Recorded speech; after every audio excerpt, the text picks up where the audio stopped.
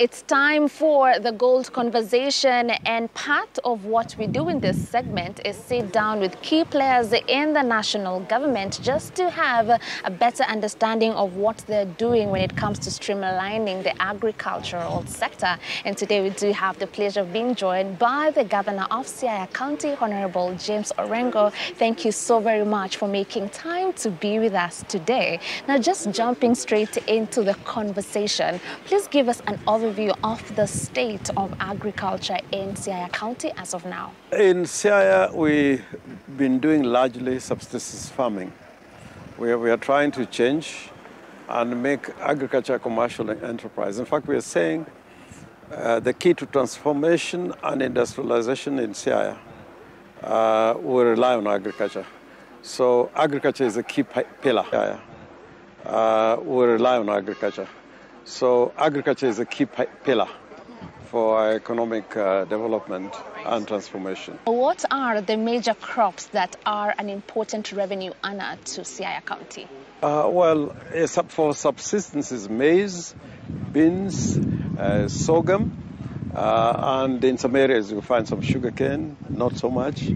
Uh, and now you find some cotton, and along the Yala Delta, there's rice, which is catching, catching up very quickly. Speaking of cotton, now there's a lot of effort to revive the sector of cotton, and that is exactly why we're here in Siaya County. Somebody is watching right now and is wondering, why now? Why cotton right now? What message can you tell them? Siaya and many parts of and Western uh, were cotton country. Ca uh, cotton was a major cash crop uh, in Siaya and if you go to a lot of places along the road, there used to be uh, cotton stores. They, used to be known as Topamba, and a lot of places were called Topamba.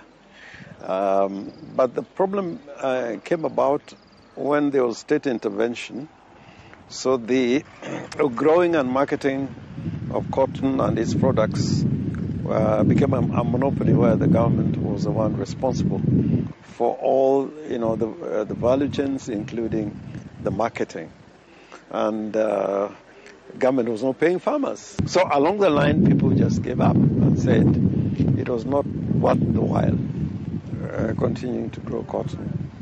Uh, but now we, we, are, we are creating awareness.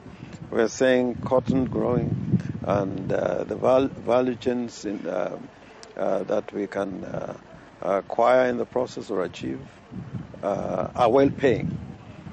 And I think there's a positive response. But we must work harder uh, because there is that um, suspicion that what happened in the beginning may come back to haunt come them and haunt them again. So to make sure it doesn't come back again, to make sure we are not at a point where we have the cotton, we have the very hard-working cotton farmers, but they're not getting paid.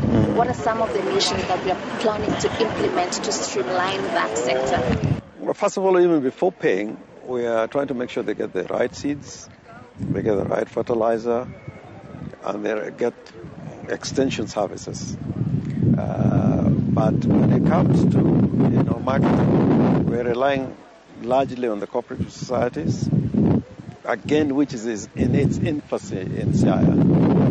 Uh, and part of the marketing is uh, done through the private sector. Uh, there are some companies like Thika Cotton Mills, which is directly uh, going to the farmers, either to buy finished uh, products uh, or, you know, paying them, uh, give them seeds at a long time. is like doing it on contract.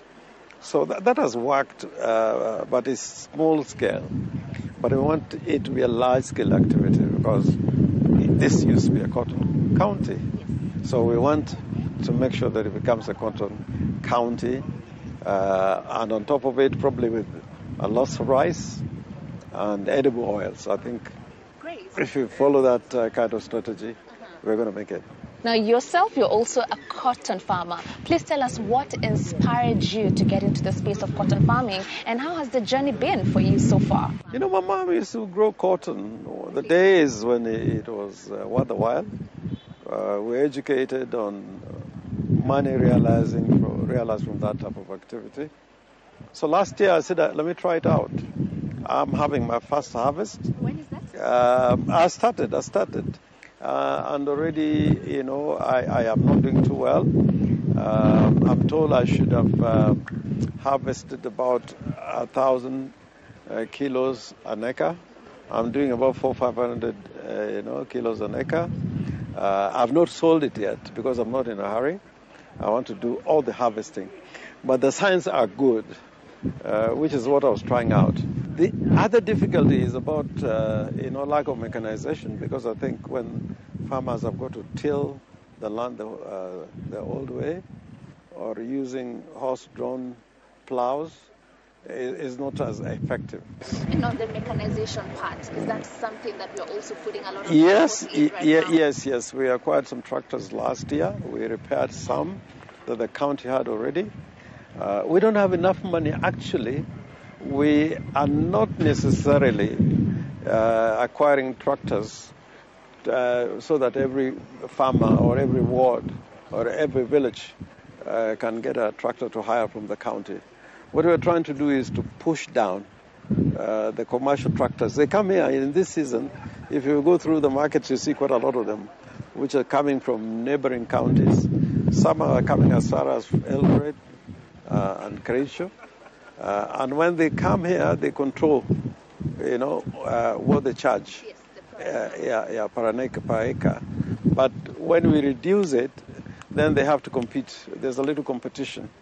Uh, plying an acre, if you leave the market open to them, would be about anything from 4,000, 500 shillings to 5,000.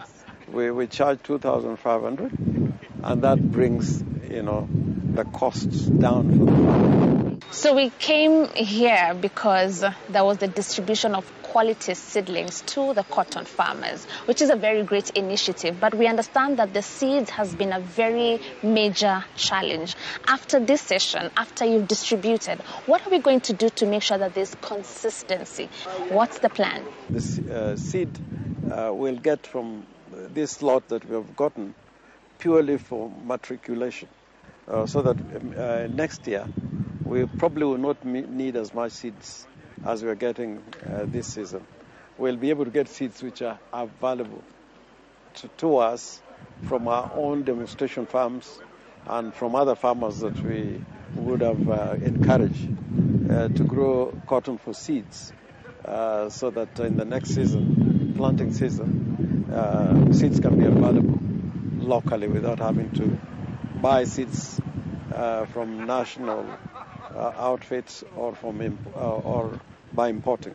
You also mentioned, and you were very particular on the fact that the ginnery right here in Siaya County, you don't want it repaired. You want it to be done brand new for the farmers. And this, of course, will get the farmers very excited. So we're wondering, what timelines are we working with? And why was it very important for you to say that we need to go the direction of getting a brand new one? Well, the, the we have is an old machine. It's going to be repaired, and we say that can be used for the time being is like a first aid to the farmers. Yes. And then there are the other outfits like Thika Cotton Mills who are buying, uh, and other ginneries in Elgeyo Marakwet, in Makueni. Uh, but in the long term, I think uh, from my experience with the rice mill, uh, it is possible to get a, a ginnery can get us all the value chains down the line. We need a, a modern, compact gin, and that I think can serve us better than right. the, these old uh, pre Second World War kind of uh, you know machines that we have here. Yeah. Mm-hmm. yeah. And what message are we preaching to our farmers, especially right now in the wake of climate change, which is affecting the way we do business in our farms? Mm. Are we more awake to that concern right now? We are very much awake to, the, to that now because uh, Siaya we are not doing very well. You know, our tree cover is less than the national average. So uh, a lot more tree planting, tree growing uh, can, can, can do us good. We are also at force compelled to engage in climate action because uh, we, we got these two rivers, uh, and Yala, flowing into uh, a wetland which is getting degraded uh, because of the contamination and pollution upstream. Um, uh, we, we are taking measures, uh, you know, downstream We got three small lakes next to Lake Victoria. Uh, they are very scenic, uh, very unique, uh, and they need protection. There was a time when one of the dikes, you know, collapsed along Lake Kanyaboli. We lost nearly 60% of the water volumes in that lake, but we have since repaired it, and the volumes are back. But it shows what kind of disasters climate change. Let us talk about the young people. We want the youth to take up more space in the space of agriculture because, as we know it, the average age of a Kenyan farmer is 55 years and above. What are we doing? What are, what are incentives, initiatives that we are putting in place to make this space lucrative for the young people? The big problem has been the return from farming.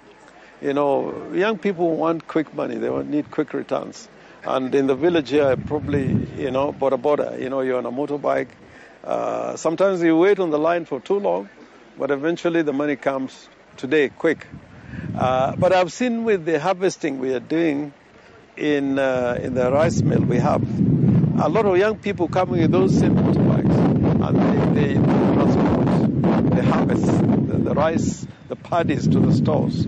Uh, they get money quicker than waiting for people at uh, trading centers. So, if we can have the kind of factories that can attract uh, young people uh, in, in, the blue economy, uh, fish farming, you know, there's a lot of cage farming in the lake. You can't take old people into the lake. There's younger, a lot more younger people involved. Uh, and I think uh, the answer is to get what gives good returns uh, to the young people. Uh, the old people are more patient. They can wait for a crop for three or six months to get their money. But young people want their money now, uh, which I don't think is a crime. You've mentioned the fish sector, which is a very important sector. Given the fact that we do have Lake Victoria down here, but our farmers are struggling. Actually, some of the richest people in the fish space don't even come from this area. What are we doing for our fishermen? They do so much, yet make so little out of their efforts. What is the plan with the blue economy? We're having a lot of interventions in the, in the, in the fish uh, sector. Uh, we're giving out fish feeds giving out cages uh, and uh, using the beach management, management units. Uh, they can put their resources together. We put some landing sites for them, uh, again in collaboration with the national government. So I think we have a lot of activity which can uh, make sure that we benefit from the blue economy, at the same time protecting that environment. But as you say, get a lot more young people engaged into practical work that can give returns. All right. Speak to young people right now as you Yeah, I, am telling the young people, say, farming is good for us. Uh, food security, we must have it because a hungry nation is an angry nation, and Siaya can do a lot of a lot better. Uh, 85% of our land is arable. We got the most pristine part of the lake. So join me in making Siaya a food secure. Now, Honorable James Orengo, we've heard of the good plans you have for the people in Siaya County when it comes to agriculture. And we want to hold you accountable. So we want you to give us an invite. When should we come back so that we can see how far gone you are with these fantastic promises? When do we... Can, can, can you come back in April next year? April next year. That's a year. A year from now. And I'll come and see those nice reforms. No, no, no. We will do. Uh, take some figures with you. Great. And when you come back, we'll look at those figures again. The audience have had it. Thank so you. we're going to hold you accountable in a year. Thank you. And I stand to be account. thank, thank you, you, thank you, thank you. Pleasant Pleasant talking to you. Absolute pleasure. Shukrani sana. And that is all that we did have for you in our gold conversation. We came all the way to Siaya County to have a conversation with the governor of this amazing county, Honorable James Orengo, and we've gotten an opportunity to hear of the great plans that he does have for the people in Siaya County. Again, young people, this is your chance to take up space in the agricultural sector because yes, it is getting streamlined. We will be back again next year, like he said, to see how far gone we are with the promise. And trust you me, Kenya's Gold will be here. We don't play.